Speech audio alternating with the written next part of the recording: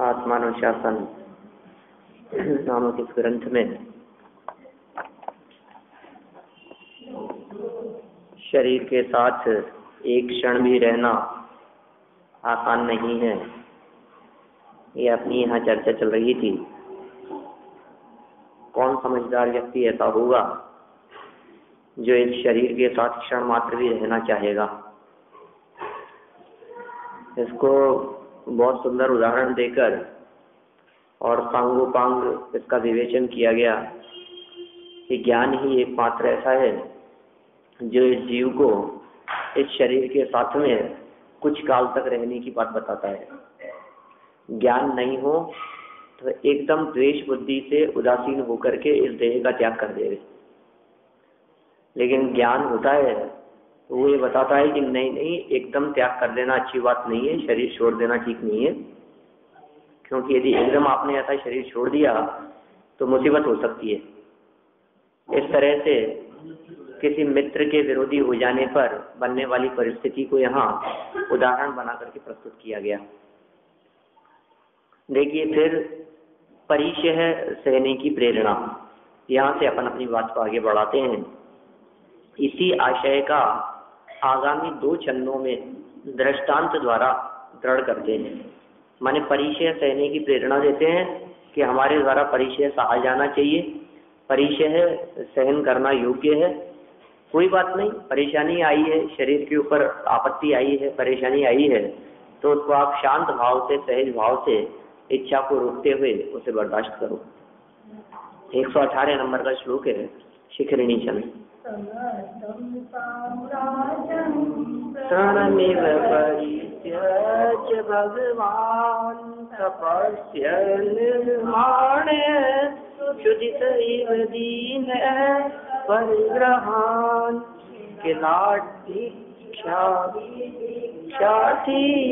स्वयमलमानोऽपि न सौढव्यं किं वा परनिर्परैकार्यवशतः।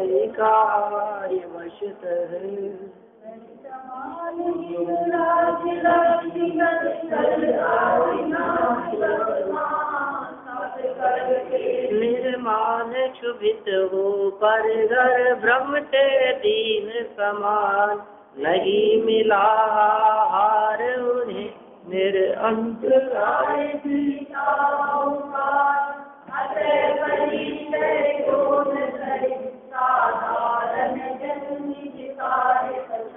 ऐसा सुंदर उदाहरण प्रस्तुत कर दिया यहाँ। एग्ज़ाम्पल दे दिया इन्होंने भगवान ऋषभ देव का।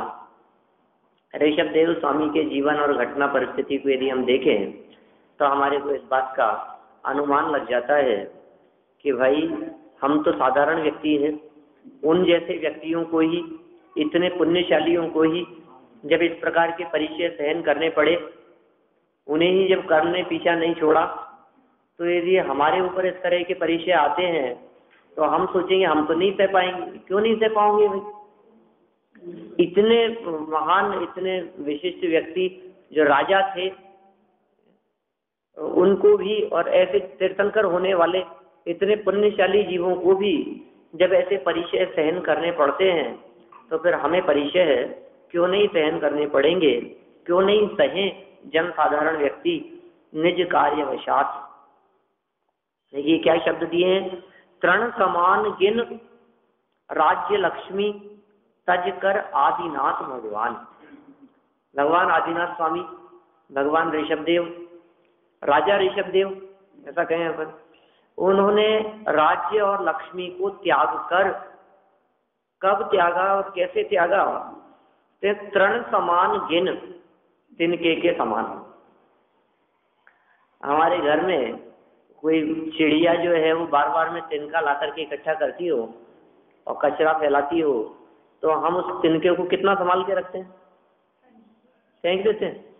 आप संभाल के नहीं रखते? कोई भी नहीं रखता उसको। मतलब उस तिनके की कोई कीमत नहीं है, उसे तुरंत ही फेंक दिया जाता है। ये कह रहे हैं, ऐसा गिन लिया राज्य और लक्ष्मी को, तिनके के समान। अने उपेक्षा बुद्धि, कोई प्रयोजन नहीं है। कोई उसकी उपयोगिता दिखाई नहीं दे रही है। ऐसा जान करके ऋषभ देव भगवान ने तुरंत उसे त्याग दिया। और फिर क्या किया उसको त्याग करके? कि तप करते। तपस्रण करना शुरू किया। ध्यान अवस्था में बैठ गए हाथ पे हाथ धर करके, मौन होकर के। निर्माण। ऐसा नहीं कि ऐसा तपस्चरण करने लगे तो अपने आप को अरे राम, मैं भी बहुत ऐसा तो क्योंकि ऐसा तब कौन करेगा? अरे कुछ ऐसा थोड़ी ना तिरासी लाख पूर्व तक मैंने राज्य किया है। लोग देखेंगे कि मैं तो जो करूँ, लोग मेरे अनुसार चलने वाले हैं। और चार हज़ार लोग मेरे साथ दीक्षा लिए कितना महान हूँ मैं। ऐसा मान रख करके नहीं, मान छोड़कर और जब आहार के लिए निकले तो क्षुभित हो, पर घर भ्रमते दीन समान। घर घर फिरते रहे, दरवाजे दरवाजे के बाहर से निकलते रहे, गली मोहल्लों, बाजारों में रोज़ाना अपना समय व्यतीत करते रहे, क्षुभित होकर के दूसरे घरों में जाते हुए, भ्रमण करते हुए, दीनहीन होते हुए भिक्षा के लिए निकले हैं, लेकिन निर्माण। उनकी जो भिक्षा की वृत्ति थी, वो मान रहित वृत्ति थी। और फिर क्या हुआ? रोज़ाना घूमते फिरते भी, एक दिन, दो दिन, चार दिन छह महीने निकल गए। नहीं मिला आहार उन्हें। आहार ही नहीं मिला उनको ऋषभ देव को। नहीं मिला आहार उन्हें। देखो निरंतराय बीता बहुकाल। ऐसा नहीं है।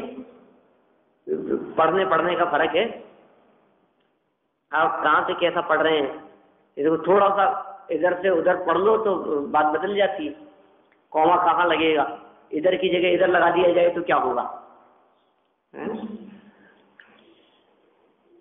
नहीं मिला आहार उन्हें। निरंतराय बहुत काल बीत गया।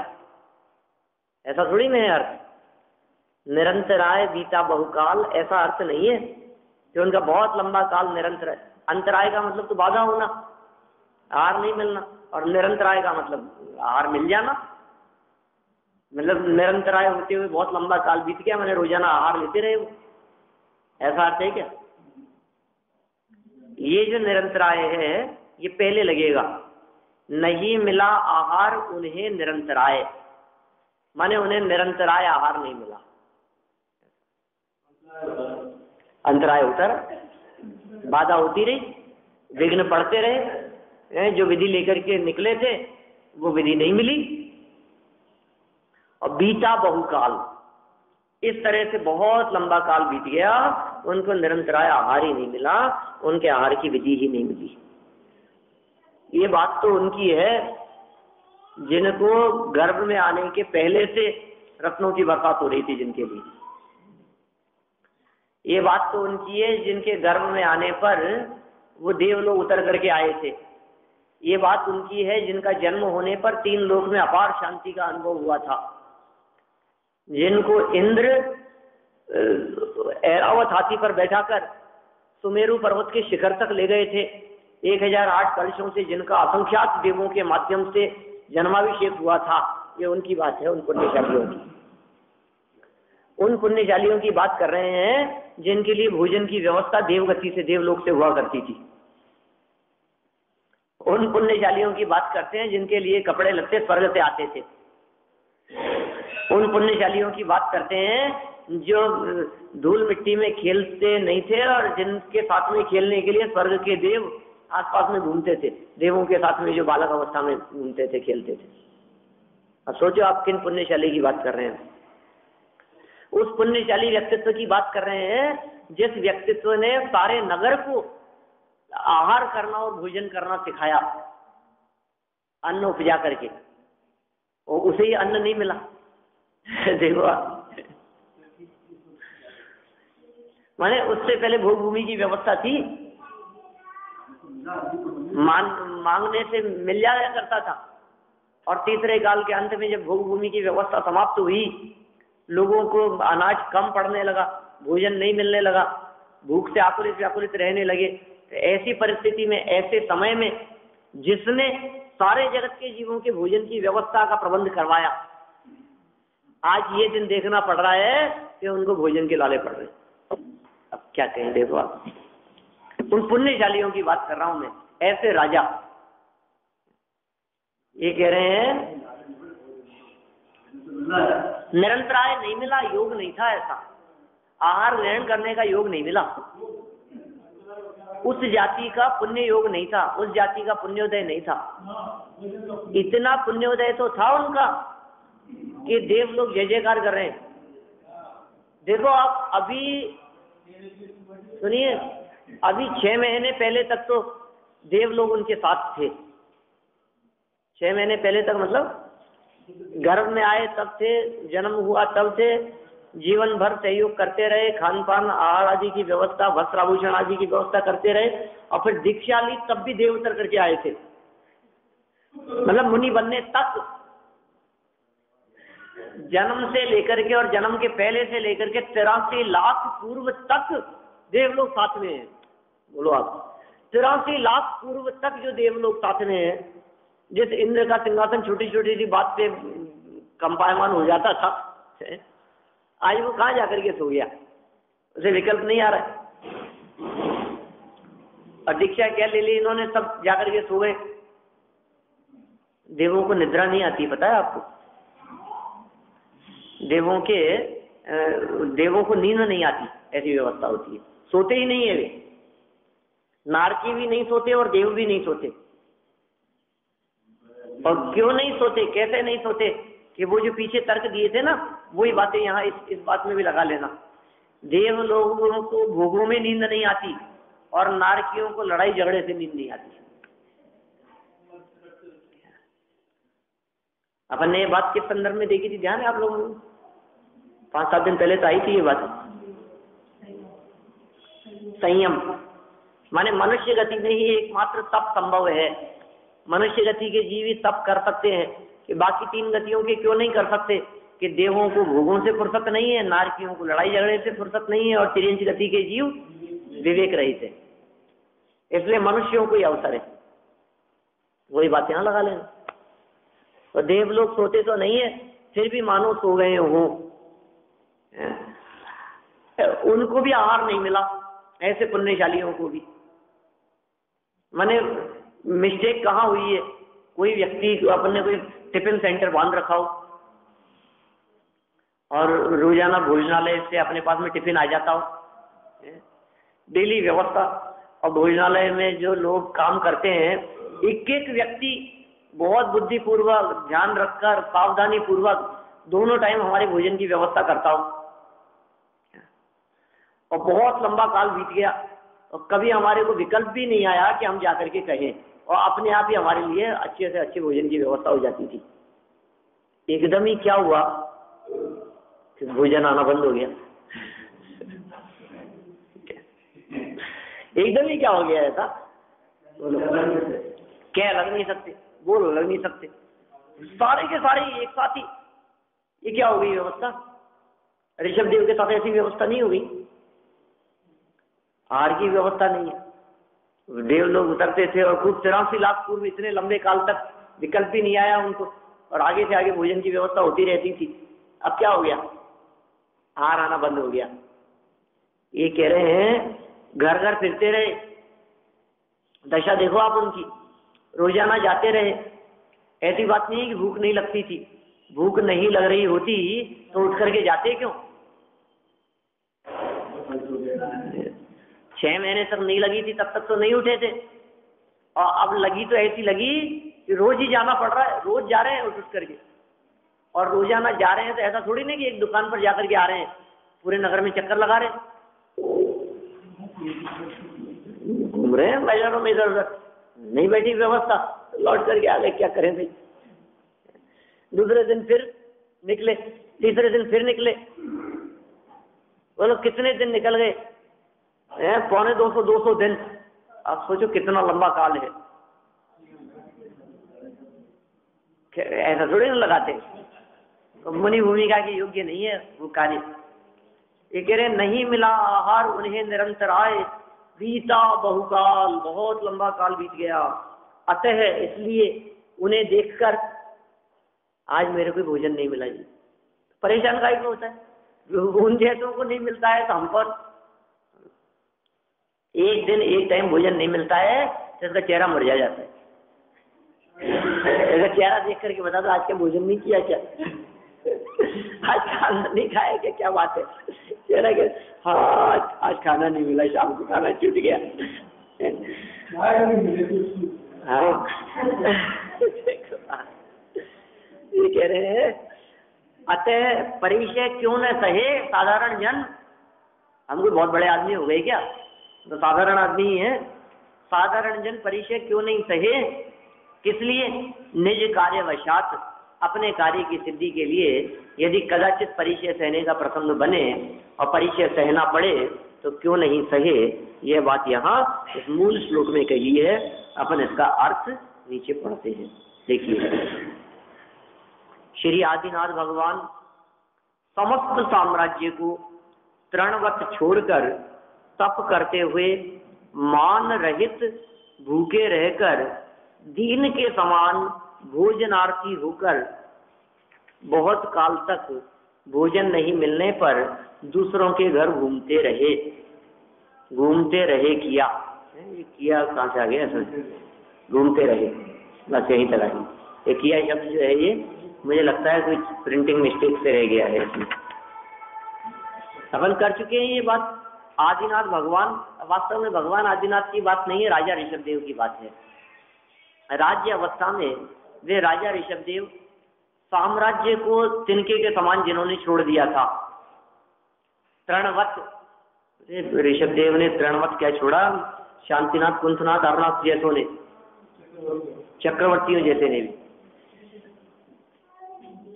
विभूति षटखंड की हे शांति जिन तरण सम तजी।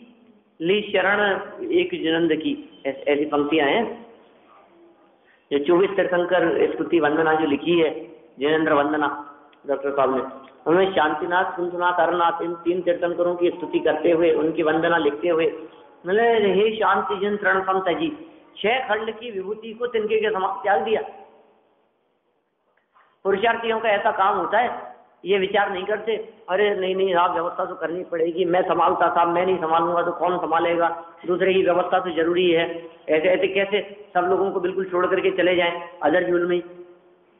ये कोई समझदारी का काम थोड़ी नहीं कोई भी व्यक्ति, कोई काम संभाल रहा होता है तो उसके दिमाग में विकल्प आते हैं कि जब तक इस काम को संभालने वाला कोई दूसरा नहीं आ जाए, तब तक मैं नहीं छोड़ सकता। बहुत से लोगों को जब घर गृहस्थी त्याग की बात करते हैं संयम अंगीकार करने की बात कहते हैं तो वो लोग क्या जवाब देते हैं? वो कहते हैं हाँ साहब, छोड़ तो दे बस थोड़ा सा दुकान संभालने लायक हो जाए, बेटा। फिर अपने को तो संयम अपन तो जानते हो, आप तो अपने तो शुरू से ही वैरागी प्रकृति के, है ना? तो अपने को सब छोड़ना ही लेकिन बस कब तक, जब जब तक ये थोड़ा सा संभाल नहीं ले जब तक ये संभालने लायक नहीं हो जाए। बोलो वो संभाल लेगा, तब तो छोड़ देगा ना। अरे पुरुषार्थी लोग जो होते हैं जिनके हृदय में वैराग्य और संयम की उत्कृष्ट भावना होती है और अंदर से वैराग्य भाव आता है, फिर बाहर में वो इस बात की अपेक्षा नहीं रखते कि संभालना वाला कोई है या नहीं है। छोड़ करके निकल जाते। हैं छह खंड की विभूति को चक्रवर्तित्व के राज्य को संभालने के सामर्थ्य उनके बच्चे पोतों में कभी नहीं होती है। चक्रवर्ती के बच्चे नियम से चक्रवर्ती नहीं होते, ऐसा नियम है। ये व्यवस्था ही ऐसी है। माने जिस छह खंड के राजा अधिपति वे चक्रवर्ती थे, भरत चक्रवर्ती, उस छह खंड को संभालने की सामर्थ्य उनके साठ हज़ार वेदों में नहीं थी, बच्चों में नहीं थी। वे सब मिलकर के भी छह खंड के राजपाट को नहीं संभाल सकते। मोक्ष की योग्यता तो थी, पात्रता तो थी। दीक्षा लेकर के भरत जी से पहले मोक्ष चले गए। भरत जी से पहले उनके बच्चे मोक्ष चले सारे नहीं, बहुत सारे। सैकड़ों, हज़ारों बच्चे चले गए। लेकिन राज्य नहीं संभाल सकते। सबकी अपनी अपनी उस प्रकार की योग्यता होती है, उस जाति का पुण्य होता है। एक कह रहे हैं, तिनके के समान त्याग देते हैं उसको, जब अंदर में वैराग्य भाव जागृत होता है। तप करते हैं, मान को छोड़ देते हैं, भूखे रहते हैं, और दीन के समान भोजनार्थी होकर के, भोजन के अर्थी होकर के, भोजन चाहिए और कुछ नहीं चाहिए। भोजन कोई देवे नहीं। हमारे नगर के राजा अब किसी को दिमाग में यही बात नहीं आई कि भोजन के लिए आ रहे होंगे। दिमाग में आने वाली बात है। इनको क्या चाहिए? मेरे कपड़े लत्ते क्यों छोड़ रखे हैं? अच्छे गहने लाओ इनके लिए, जेवर लाओ। कब, खाने में क्या दम है दो रोटी डालने में? अच्छी चीज़ लाओ, महँगी, सोना चांदी लाओ इनके लिए।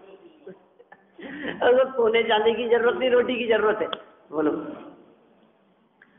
जहाँ रोटी की ज़रूरत हो, वहाँ सोना चांदी क्या काम आएगा?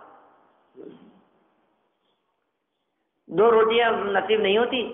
देखो आप मिलावट ले भाग्यो। बोलो। हरी घासरी रोटी। है? बोलो, कैसी दशा होती है? नगर के राजाओं की ये दशा हो जाती है। समय बहुत बलवान है भाई। समय जब फिरता है तो दशा बिल्कुल विकट हो जाती है।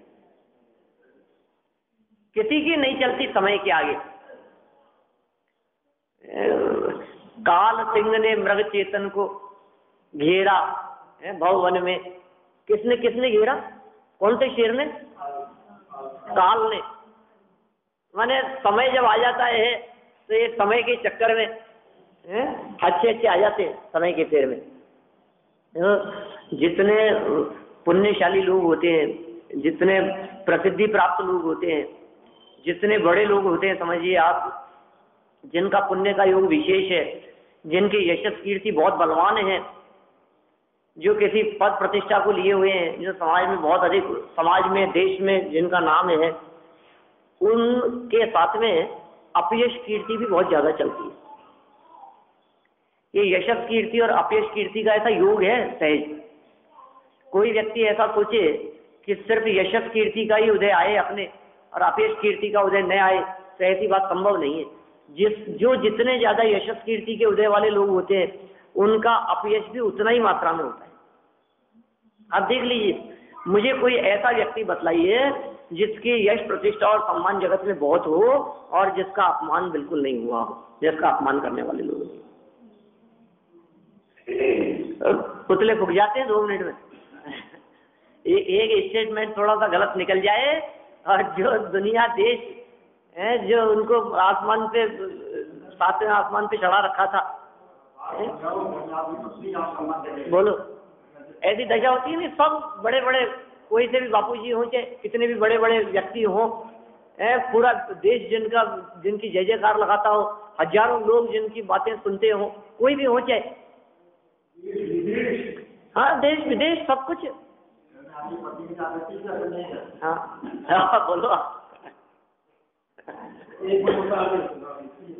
मैं सबकी बात कर रहा हूँ, आप नीचे से नीचे स्तर के व्यक्ति से लेकर के ऊपर तक के सब व्यक्तियों की बात समझ लीजिए आप। अपने समाज के किसी व्यक्ति की बात समझ लीजिए। जो समाज के नेता बने, फिरते हैं, उन लोगों का भी अपमान अपयश करने वाले लोग बहुत होते हैं। आप राजनेताओं की किसी की भी बात समझ लीजिए। धर्म के ठेकेदार, विद्वान, ज्ञानी, धर्मात्मा, पूज्य पुरुषों की बात समझ लीजिए आप। उनकी भी निंदा अपमान करने वाले सब क्योंकि यशत कीर्ति है ना। एक्चुअल में क्या होता है जो व्यक्ति जितना ज़्यादा फ़ेमस होता है उस व्यक्ति के लिए हर कदम रखना इतना ज़्यादा सावधानी पूर्वक होता है कि वो आप यदि चौराहे पर खड़े होकर के कुछ भी खाएँ तो कोई ऐतराज नहीं है किसी को। लेकिन जो जितना बड़ा व्यक्ति है खड़ा ही नहीं हो सकता। मैंने स्थिति कैसी होती है? वो नहीं कर सकते। अब वो कहेंगे, अब मैं, वो आए थे ना क्या, नायक? नायक ही है हाँ अनिल कपूर। अब बोलो अब मुख्यमंत्री बन गया। अब वो बेचारा घर नहीं जा सकता अपने वो बेचारा अपनी ज़िंदगी ढंग से नहीं जी सकता। कैसी स्थिति होती है? हमें उस स्थिति में आनंद तो आता है, उनको देख देख करके और हाँ क्या पद मिल जाएगा अपने को। लोग दुनिया जानेगी कि मैं भी कोई एक हस्ती हूँ, मेरे समान कोई दूसरे, तुम जानते नहीं हो तो उनकी अलग मजबूरियाँ हुआ करती है। उनकी परेशानियाँ, उनकी प्रॉब्लम्स कुछ अलग प्रकार की हुआ करती है। आज हम जैसे जहाँ, जैसे जिस साधन से घूम फिर सकते हैं है, कहीं भी खड़े हो सकते हैं, चौराहे पर खड़े होकर के बातें कर सकते हैं, गप्पे लड़ा सकते हैं, कुछ भी कर सकते हैं आप, लेकिन जैसे जैसे आपका लेवल बढ़ता चला जाता है आपकी वो स्वतंत्र फिर आप आपके नहीं रहे। फिर आप दुनिया के हो गए। दुनिया के हो गए समाज के हो गए देश के हो गए। ये स्थिति होती है। आ, आज आप किसी को भी कुछ भी कह देते हैं कुछ भी बात चार लोगों के बीच में खड़े होकर के बोल देते हैं फिर आपका एक एक शब्द वो अखबार की हेडलाइंस बन जाता है। हाँ, आप बोल नहीं सकते। हम ये कह रहे हैं, यशस कीर्ति और अपयश कीर्ति। हमने जो बात कही, अब यही बात अब लगा लीजिए, आप तीर्थंकरों जैसों के संदर्भ में। देखो, तीर्थंकरों का पुण्य का उदय। कहाँ तीन लोग के नाथ होने वाले हैं और साथ में अपयश कीर्ति चल रही है और वो कमट जैसा नालायक वो पत्थर बरसा रहा है उनके ऊपर। ऐसे उदय। उदय कितना बलवान है। किसकी चलती है उस उदय के आगे?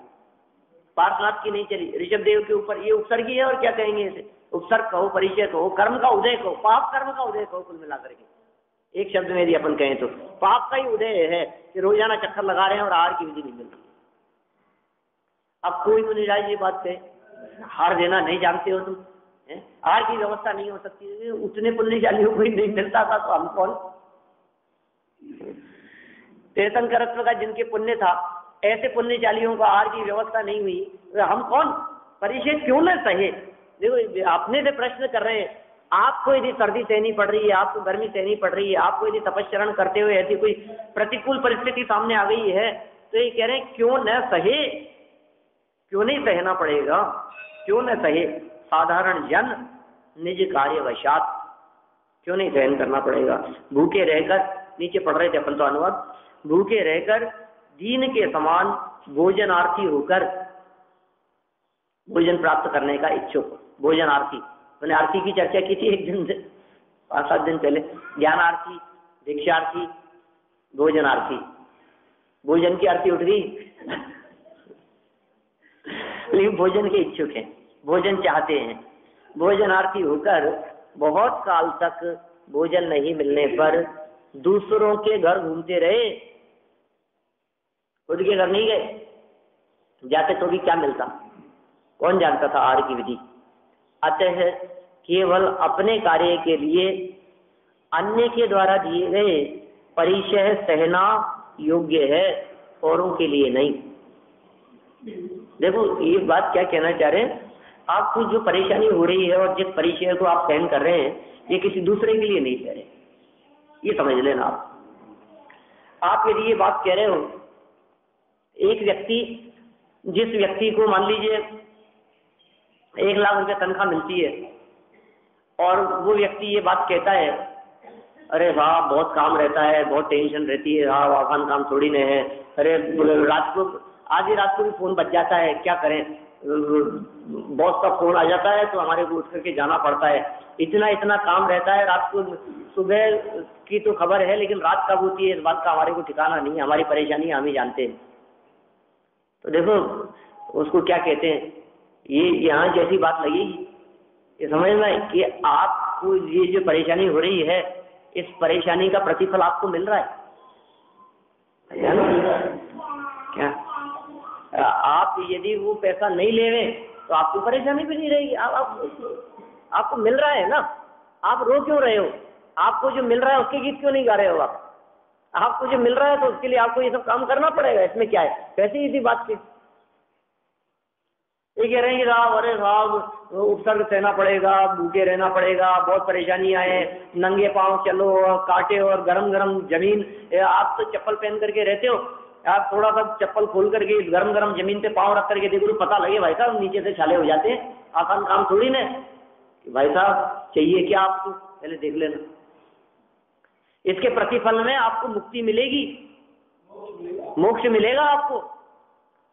आपको वो रिज़ल्ट मिलने वाला है उसके पीछे हो रहा है ये काम। किसी और के लिए नहीं कर रहे हो ये। खुद के लिए कर रहे हो।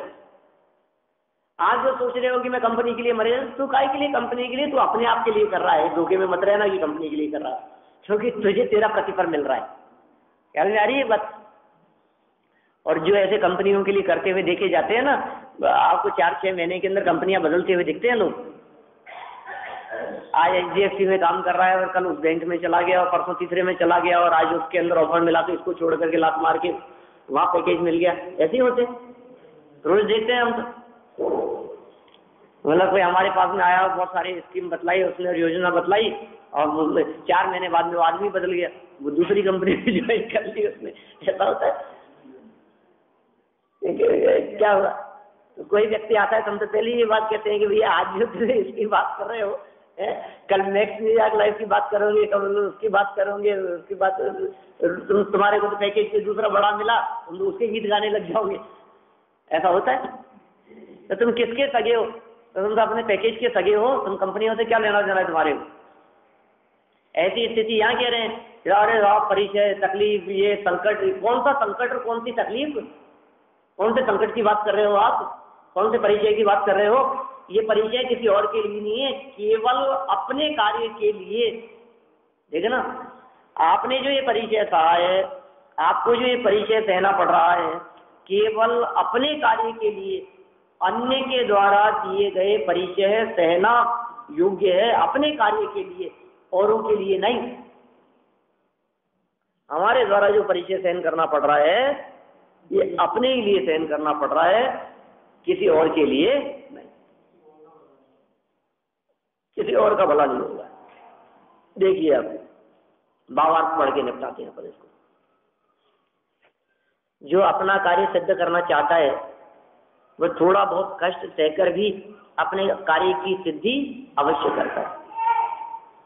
बोलो, ये तो एक कैसी बात कर रहे हैं? ऐसी बात कहते हैं टोटरमल जी साहब और ये आचार्य देव। बिल्कुल प्रैक्टिकल बात है। हर व्यक्ति को बहुत आसानी से बात समझ में आ जाए, ऐसी बातें कर रहे हैं। कोई बात ऐसी नहीं है जो कठिन हो।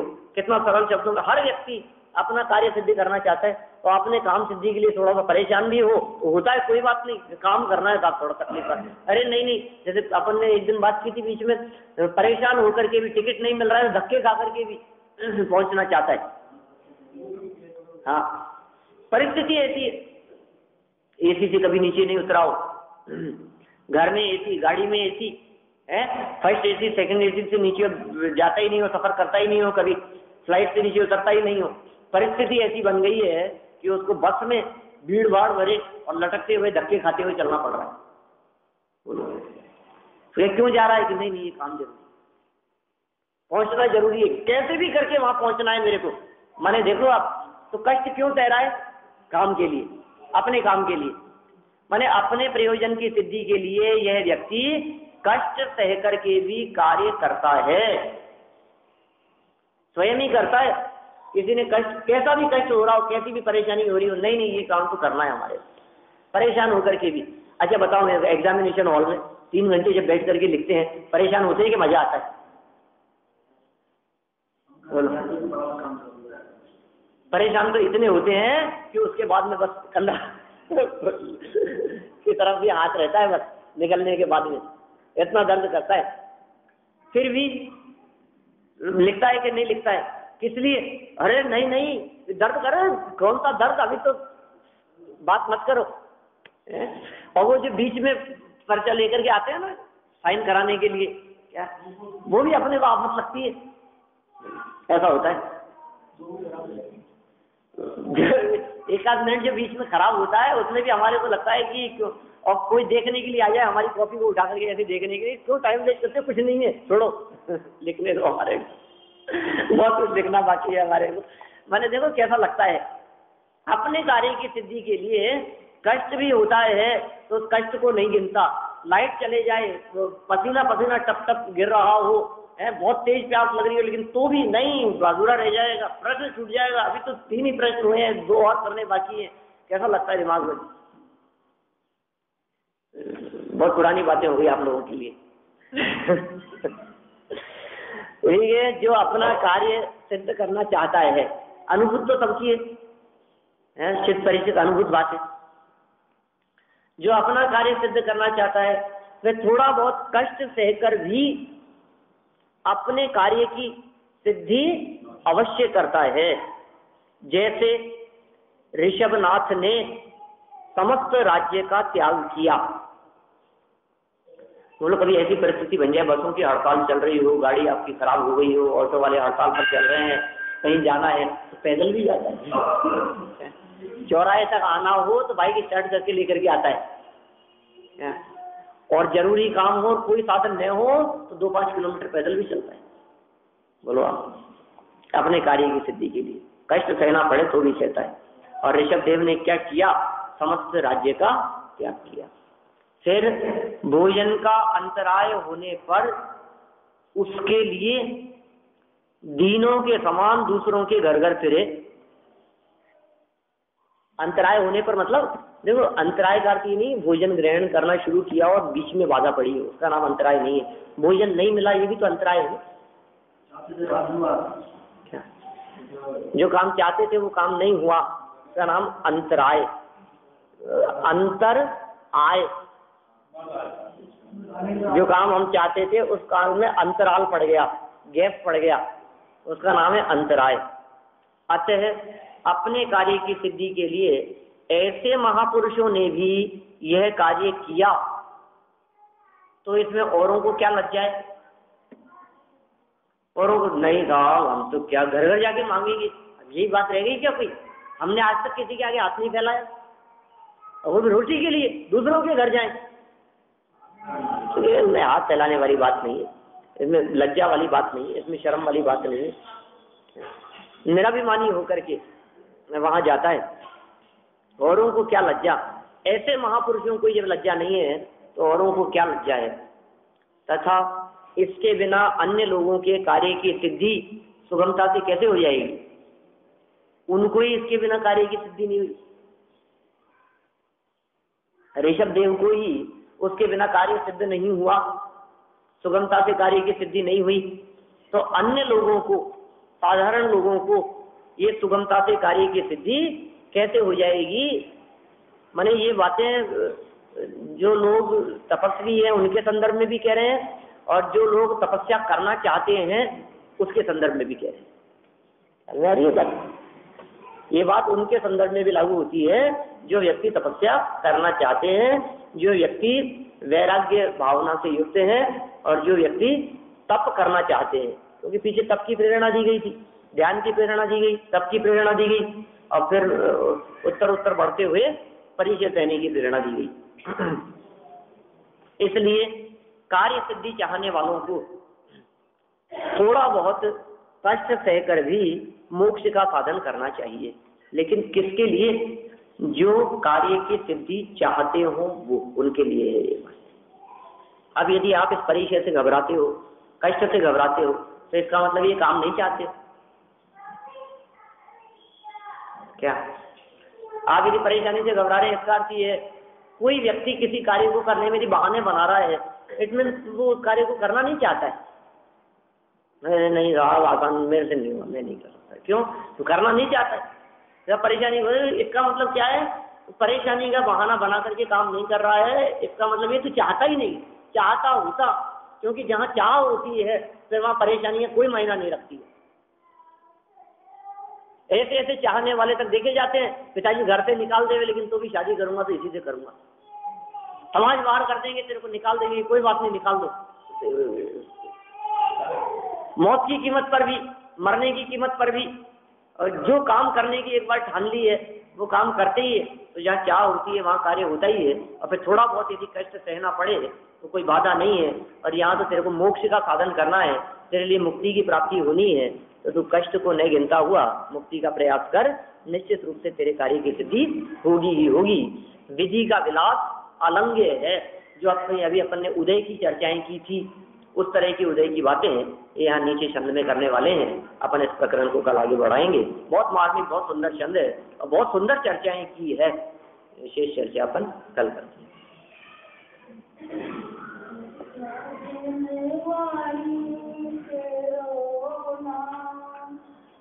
जग में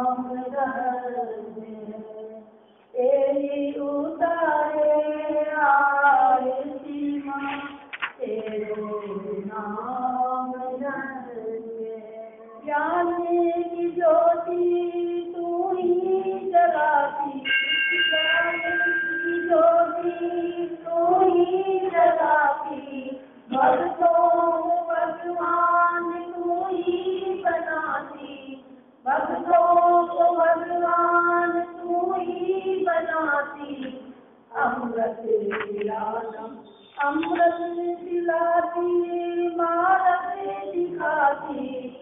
अमृत पिलाती मानस दिखाती। अमृत पिलाती मानस दिखाती। तेरो नाम जाने, तेरो नाम जाने। माधिले